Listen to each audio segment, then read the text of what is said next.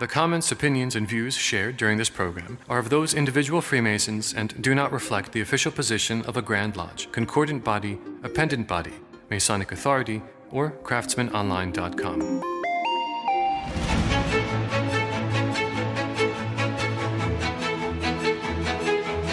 Welcome to the Craftsmen Online Podcast, the only five star rated Masonic podcast endorsed by the Grand Lodge of New York. Hello again, it's Brother Michael Arce, co founder of CraftsmenOnline.com. You've joined us for an episode on Masonic ritual and modern science as we bring back to the podcast, first time, long time, Brother Angel Millar. Welcome back, Brother Angel. Well, thank you very much. It's nice to be speaking with you again. I know, I've missed you. we almost you. let you slip by a whole season without joining us. Uh, and he's been a, bit, uh, a very busy brother since becoming the editor in chief of the Fraternal Review almost two years ago.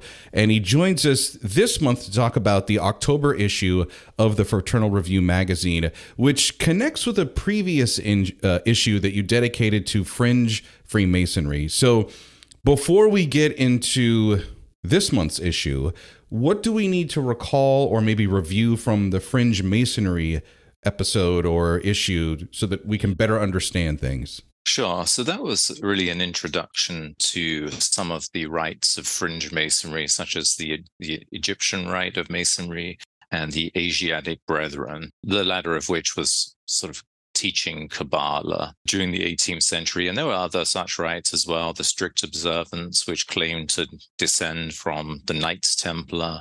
Uh, it, it, it, didn't descend from the Knights Templar, but that was its claim. And there were, you know, other slightly further afield orders, such as the Golden Rosy Cross, that was made up entirely of Freemasons, but there was teaching alchemy and claimed to have a ghost raising machine and this kind of thing. So that issue really looked at the sort of foundation of fringe masonry, particularly among these sort of uh, interesting and often forgotten uh, 18th century Masonic or fringe Masonic rites. I feel very fortunate. I'm sure brothers who are uh, subscribers of the Fraternal Review or just fans of the esoteric are like, wow, he's got the editor in chief, Angel Millar, on. And we've kind of timed the release of this episode to go with the release of the current issue. Before we really dive into some of the deeper meanings and the writings, I want to talk a little bit about the authors that you have that are contributing in this October issue. You got heavy hitters from Jaime Paul Lamb, Piers Vaughan. John Mongiovi, Richard Kaczynski, and Frater UD. Tell us a little bit how you pulled these writers together. Yeah, so yeah, I wanted to look more at the uh, the actual practices of uh, fringe masonry, especially as they touch on quote unquote magic. And um, you know, so it was in the last or the first issue, as I say, we looked at some of the sort of foundational rites, and uh, you know, here I decided to look more at the practical, which which in a way it gets neglected. For example, with Frater UD, we look at the use of the grips in quote unquote old Turkish Freemasonry, but uh, it's they were really used in sort of energy practices. So you would use the Masonic grip in a certain way, and in your hands you would feel this energy, uh, which is really like if uh, if people are uh, intimate with Chinese martial arts or Japanese martial arts, they will know of chi or ki this sort of inner energy that can be cultivated and used for health or healing and this kind of thing. And and so you find this in in the in this fringe Masonic um, writing and fringe Masonic uh, practice of of the grips. And uh, you know, with with uh, uh John Mongiovi uh, that I interviewed, who's a, f- a friend of mine, and he taught me uh, hypnotism but uh, he's a board certified hypnotist, Freemason, an actual uh, practitioner of uh, mesmerism, or more accurately, uh, magnetism, uh, a practice which has descended from uh, Franz Anton Mesmer, an 18th century sort of healer and hypnotist active in France. And uh, and so you know we talk about uh, the overlap between hypnotism and Freemasonry, and and in my article as well, I discuss uh, how hypnotism and Freemasonry actually merged in the 18th century uh, in certain rites as well. and I uh, claim, and I think I'm right about this, that really the modern magic is in essence a fusion of fringe Masonic ritual and trance. And you find this in Freemasonry during the 18th century, especially in France. Uh, and in my mind, I was highlighting some of the keywords because you've devoted so much of your thought and insight on the subject of magic, and that's definitely going to be prominent in this October issue, but also hypnotism and mm. energy. And one of the quotes that you state in the uh, editor's word is, quote, magic is undoubtedly older than religion, end quote. Mm. So you and I have talked about this, the term modern science. What does that mean to you? And how is it different than maybe ancient or early magic? Yeah, well, magic has changed throughout the millennia for sure. So, you know, if we look at uh, shamanism, as, as, far as we can you know, know and can tell, uh, from remnants of it and from whatever myths may represent that.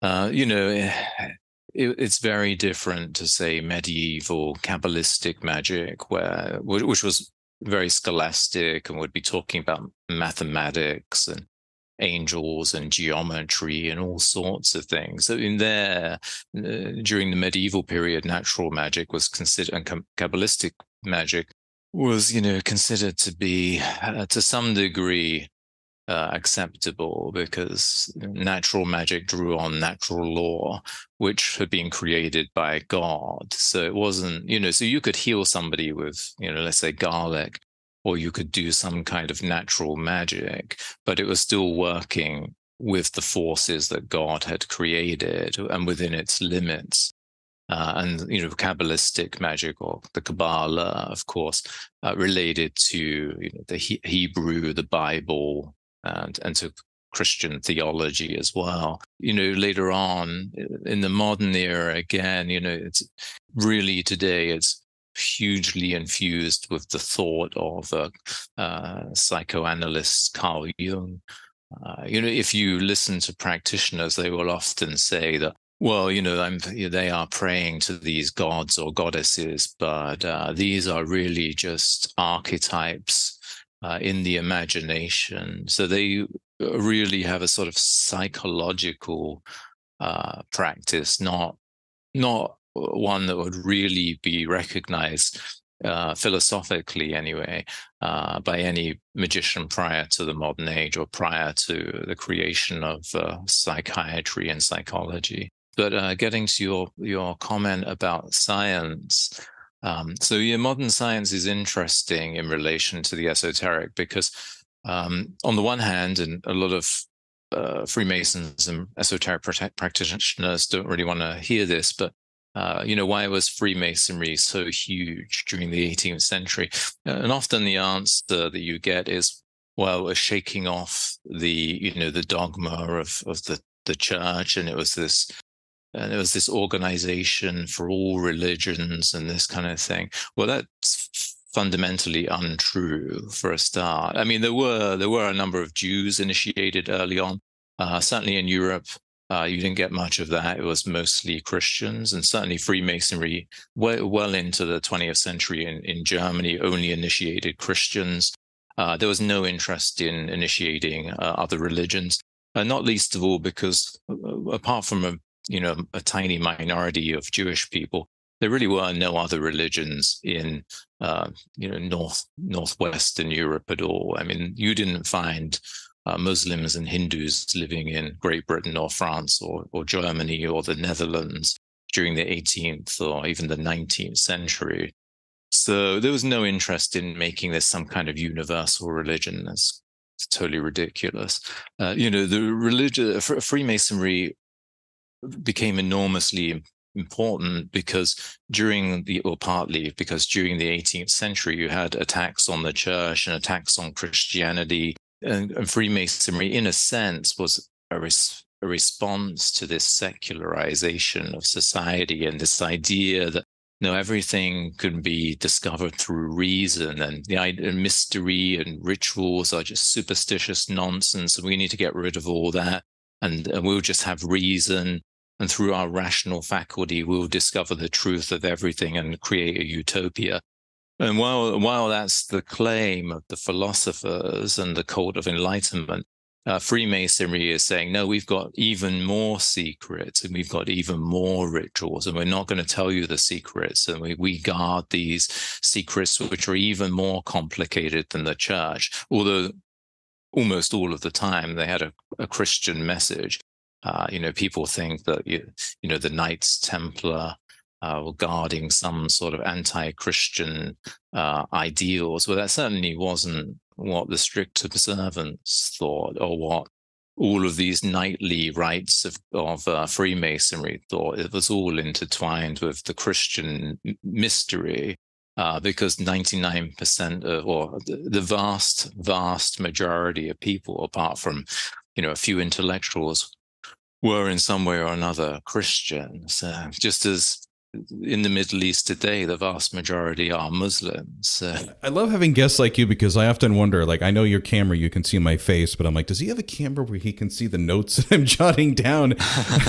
because I was going to ask you if, if it's fair to say magic is really what we would consider science today. Yeah. And if magic is science, then really what that is, is man's attempt to define or explore faith and religion and why freemasonry would be involved in this equation is as you said on one hand freemasonry a lot of our stories come or allegories come from the historical text of a volume of sacred law yeah. a bible whatever religious book is there just as a basis of saying this happened at this time or here's the values and moralities that all good men can agree on.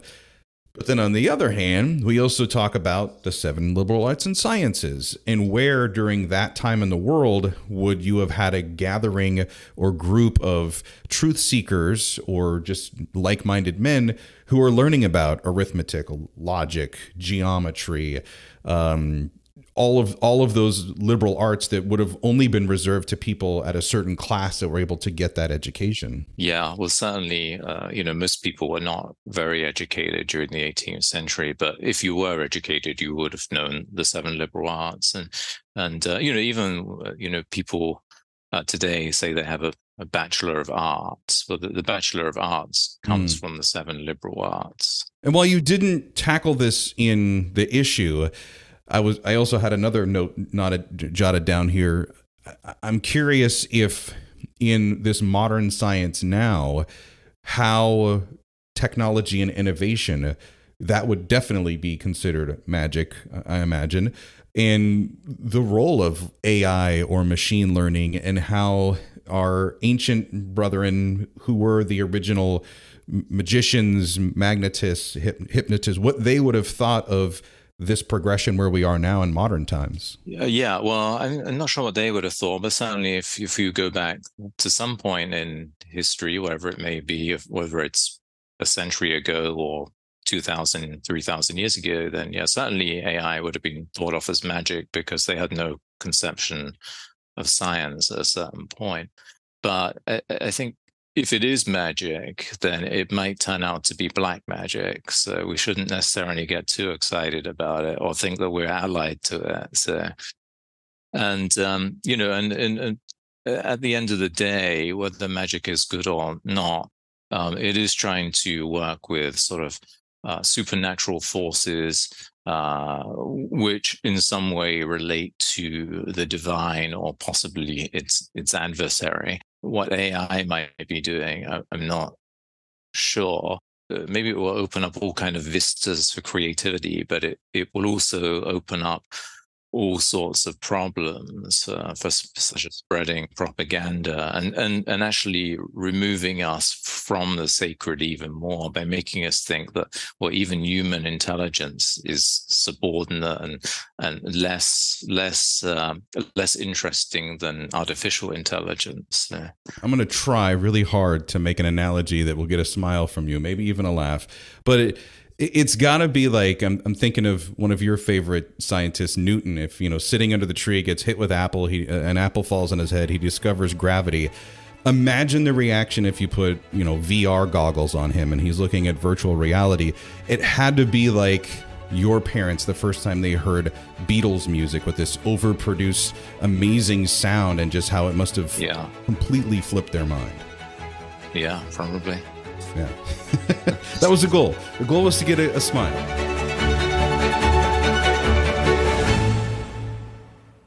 Hey, it's Brother Michael Arce. Just want to take a couple seconds to talk about our Patreon subscription offer. For just $5 a month, you can get early access to these episodes and ad free. That means no me telling you about the Patreon subscription or those annoying commercials before and after our podcast. Get subscriber extra episodes. Like, for example, did you know that Angel Millar was a Buddhist monk? I'm going to let that sink in for a second there. Angel and I are going to be talking extensively about that experience in our bonus time. The subscriber extra episodes drop on Wednesday, and it's our way of just thanking you for pledging that $5 a month. Where does the money go? It goes to the working group team here at Craftsmen Online, all the production costs associated with producing the Craftsmen Online podcast. So take a test drive. We give you a free seven day trial of the Patreon membership. You can listen to the subscriber extra episode with Angel that'll be dropping on Wednesday of this week. Plus, check out some of the back episodes that you might have missed the bonus content for. And thank you in advance for supporting the show.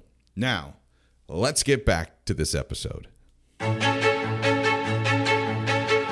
I want to get back to your article and one of the points that you made on fringe masonry, hypnotism, and the making of modern magic. And we've talked about it a little bit, but I wanted to kind of dive into this is the the practice of magnetism. This was completely new to me. Yeah in reading about this, hypnotism is also a big part of this. Yeah. How was it practiced in the East versus in the West? And what kind of led to one style of hypnotism becoming the dominant practice? Yeah. So, hypnotism really is a Western practice. Um, obviously, you could debate when it begins, but uh, for example, the National Guild of Hypnotists in America suggests that the, the first practice of hypnotism, so far as we know, uh, was in uh, ancient Greece, uh, in the temples of Asclepius, and in the ancient uh, Egyptian temples, or sleep temples as well, uh, which were used for healing. Uh, and that may be true. We don't exactly know what they were doing, but it seems like there might be some sort of hypnotic practice in there. They were involved with dreams, for example, as well. Um, but modern hypnotism, quote unquote, r- really um, maybe it doesn't begin with Franz Anton Mesmer, but certainly really took off with Mesmer. Uh, he was active during the latter half of the 18th century in Paris, although he was born in uh, Austria. It became an, uh, one of the biggest celebrities of the day. And in fact, there were far more tracks written about Mesmer than there were about Voltaire. Uh, and in this sense, uh, Mesmer was much more, more influential than, than Voltaire ever was uh, although he has become forgotten, um, probably because his practices, in the light of our secular and rationalizing age, look antiquated and magical. Is that where the term mesmerize came from? Yeah, that's right. Wow, yeah, it comes okay. from mesmer. Yeah. Yeah. So he, I mean, he's usually described as a hypnotist. You could say that he was a healer, but uh, he would have these healing sessions uh, or, or, seances, meaning sittings, uh, which is where uh, where spiritualism got the term seance. Uh, and he would have these uh, sessions and he would throw people into sort of epileptic states or catalepsy and have them walking around, sleepwalking. Uh, if you see etchings from the time, they look absolutely anarchic. Mm. Uh, but you know, really throwing these people into all states of consciousness where they don't really know what they're doing, but they're doing all kinds of crazy things, and then healing them of their whatever sicknesses might be possessing them. Now, how was he doing that? Was he leaving suggestions, or was he forcing it out of their memory? So we don't exactly know what he was doing, but um, mm. I'm sure suggestions were a part of it. Uh, I would say that definitely talking, well, clearly uh, talking people into a trance state. Uh, I, know, I, know that modern magnetism from uh, the mesmerist uh, school uses a lot of um, different techniques, as touching people in a different way or getting up very close to people and gazing in their eyes and this kind of thing. And sort of uh, controlling people with these sorts of techniques. So he may have been doing that.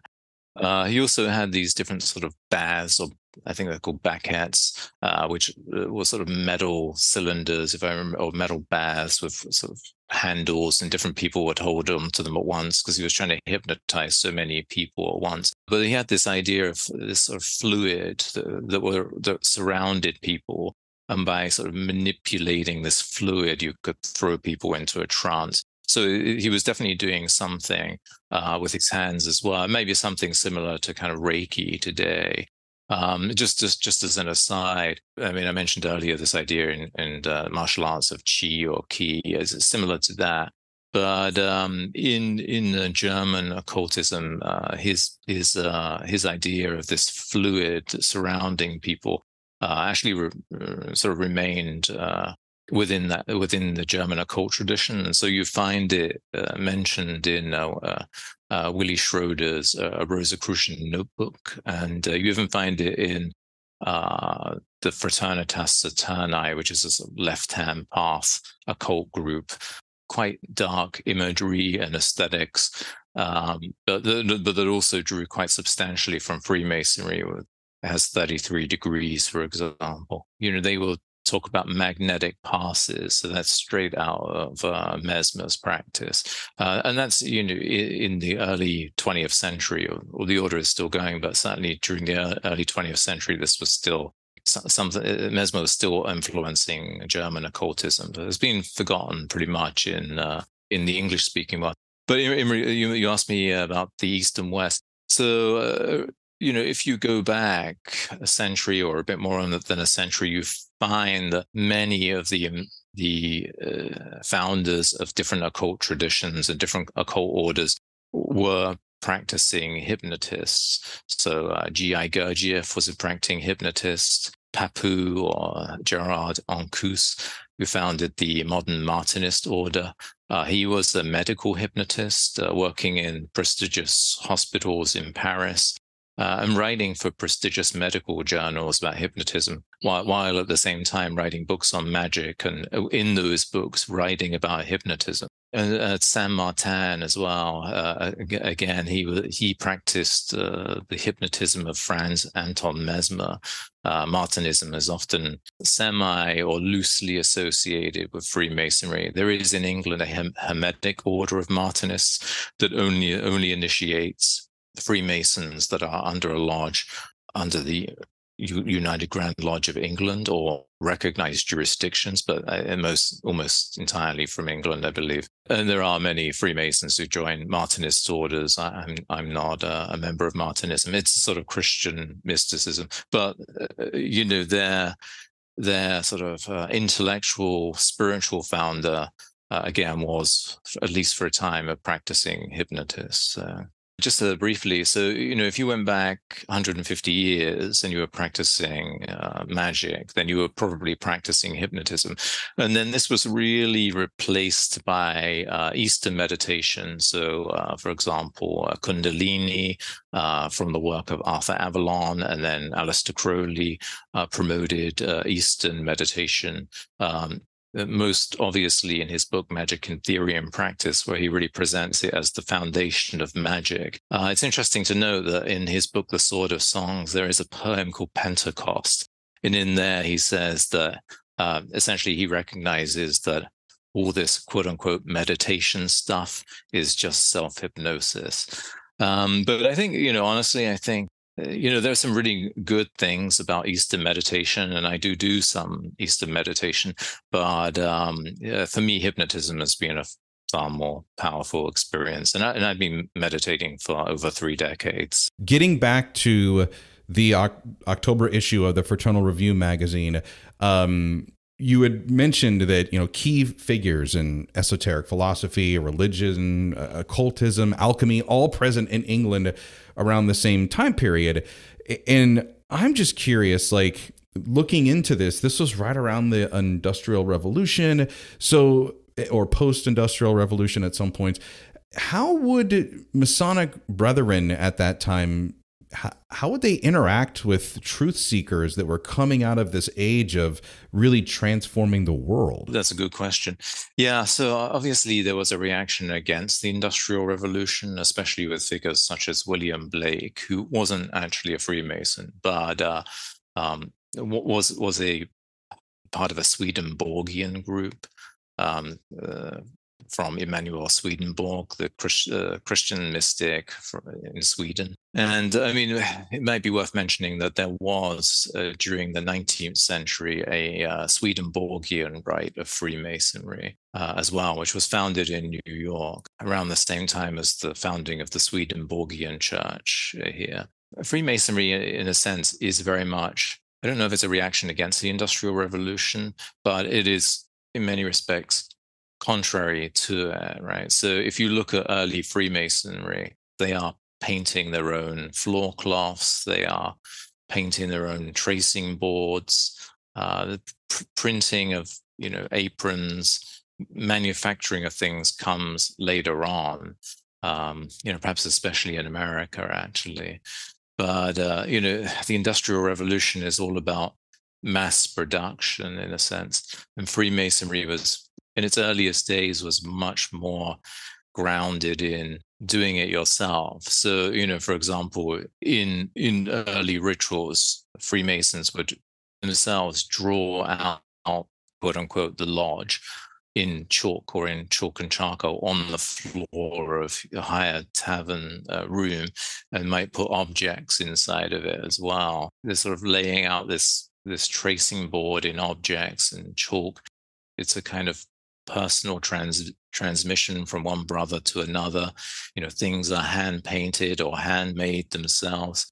Not a reaction against the Industrial Revolution. It's it's very much contrary to it in spirit, and it it, it may be seen as this spirit of trying to recapture the mystery and the mysterious and the sacred in the face of uh, mass production which means you know homogenization right? So you you produce the same thing over and over and over and over again. There's nothing personal to it yeah and while you're talking about this i'm thinking of you know the parallels of time. And we're talking about the industrial revolution so the 19th century early 20th century and here we are now in what folks would consider the technology revolution as we've talked about you know ai machine learning virtual reality. Yeah. And back then it was more of an individual study process for Freemasonry. I think it's kind of fair to say now Freemasonry is more of a group experience that we're trying to bring more of and connect with more of these truth seekers and these modern men who are trying to go back and learn the ancient mysteries. Yeah, I mean, I don't know if it was more of an individual experience then, but I think you know one good thing about Freemasonry today is that you know brothers are more interested in spirituality and the esoteric and mythology and archetypes and what might be you know archetypal to all humans, uh, uh, rediscovering the sacred. I think these are all good things actually. We'll close it out with this question uh, brother angel. I was really intrigued uh, in the uh, uh issue that's out this october for the fraternal review the interview with uh, brother john mongiovi the master mason and magnetist and he, he made the point that the ritual experience which is kind of a combination of anticipation and excitement those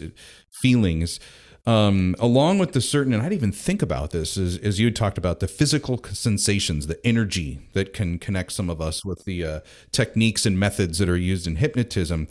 For brothers who are listening who may be preparing for an upcoming degree in their lodge, what recommendations do you have that could heighten these visions or this physical experience of attending a Blue Lodge degree? Recently, uh, I was listening to uh, a discussion about Freemasonry online, and um, I believe the, the brother was a member of a Grand Lodge, uh, Grand Lodge officer, and he was talking about how uh, you know in the Scottish Rite they're going to be introducing uh, virtual reality, and um, I personally think uh, that kind of thing is the way to kill Freemasonry.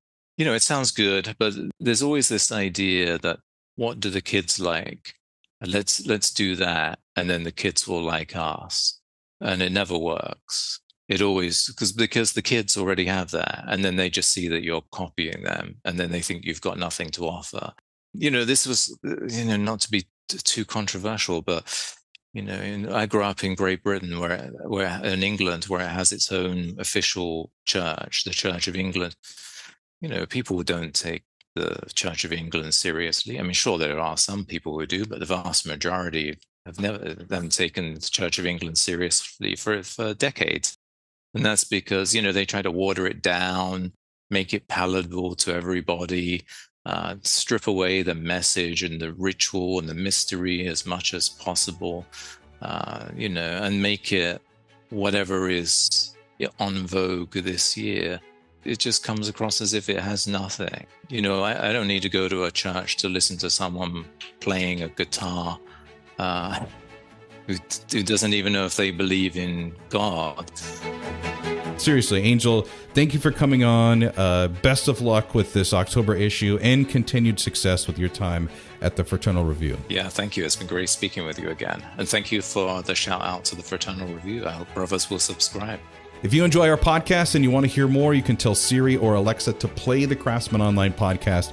We are available on all streaming platforms with new episodes every Monday morning.